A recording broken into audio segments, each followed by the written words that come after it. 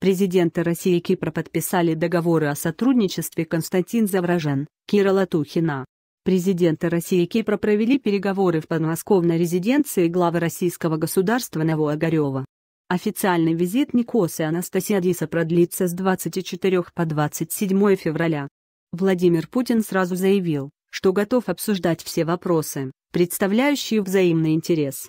Несмотря на последнее событие, Отношения двух стран все равно будут развиваться, подтвердил собеседник и пригласил российского президента в гости с официальным визитом. Надо сказать, что Кипр всегда был против антироссийских санкций и не скрывал своей позиции. Читайте также, Сергей Нарышкин поблагодарил президента Кипра за поддержку «Мне нет необходимости давать характеристику российско-кипрским отношениям, они носят давний дружеский и многоплановый характер», оценил Путин. Перед тем, как приехать на переговоры в Новоогарево, Анастасиадис побеседовал с премьер-министром Дмитрием Медведевым. Уверен, что обсуждались конкретные вопросы нашего взаимодействия, прежде всего в экономической сфере, прокомментировал президент РФ. Со своей стороны готов не только поддержать эти договоренности, но и обсудить другие вопросы, которые представляют взаимный интерес, добавил он. Анастасиадис подчеркнул, что его визит проходит в решающий период, с учетом конъюнктуры отношений. Самое малое, что я мог сделать, это посетить Россию с тем, чтобы заверить в том, что, несмотря на эти события, факторы, наши отношения все равно будут развиваться, сказал он. Наше стратегическое сотрудничество не направлено против какой-либо другой страны, уточнила Анастасия Дис и пригласил Путина в гости с официальным визитом. Главам государств было что обсудить. На повестке – весь комплекс вопросов двусторонних отношений, включая финансовое, военное и военно-техническое сотрудничество, диалог России и ЕС, в том числе в контексте украинского кризиса, перспективы кипрского урегулирования и наращивания координации в ООН, ОБСЕ и других международных структурах, сообщили в Кремле. К визиту подготовили 11 документов. Среди них совместная программа действий до 2017 года, межправительственные соглашения о сотрудничестве в области борьбы с терроризмом, незаконным оборотом наркотиков, о военном сотрудничестве, а также ряд межведомственных меморандумов в военной сфере, по науке и инвестициям. Путин встречался с Анастасиадисом в октябре прошлого года в Милане на полях форума «Азия-Европа». Осенью в Москве дважды побывал спецпредставитель президента Кипра по России Сотас Закхиос.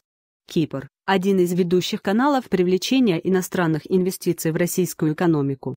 Объем накопленных вложений с Кипра в нашу страну 65 миллиардов долларов российских средств в республику привлечено уже 33 миллиарда из РФ вообще поступает до 80% зарубежных инвестиций в экономику островного государства.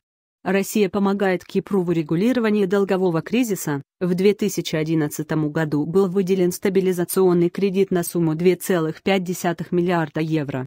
Ранее по теме.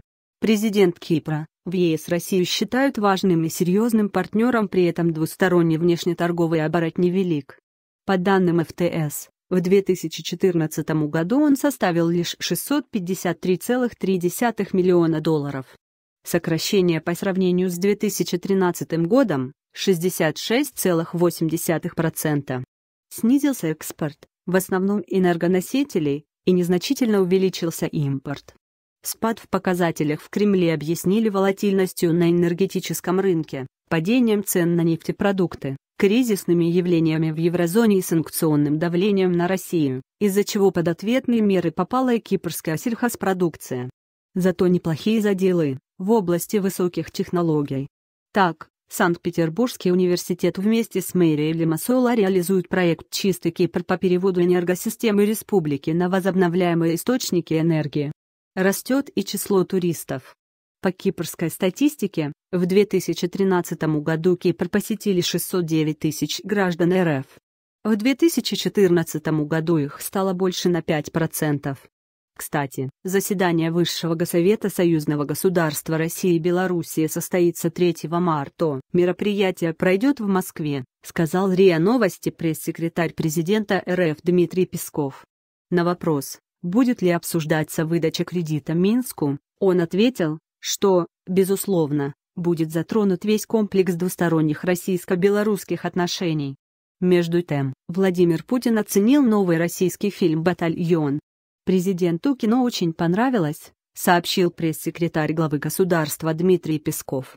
Лента рассказывает о подвиге женского отряда во время Первой мировой войны. Кроме того, режиссеры, продюсеры и актеры кинофильма за чаем обсудили с главой государства антипиратский закон, возвращение доверия зрителей к отечественному кино и патриотический посыл фильма, важный для нового поколения.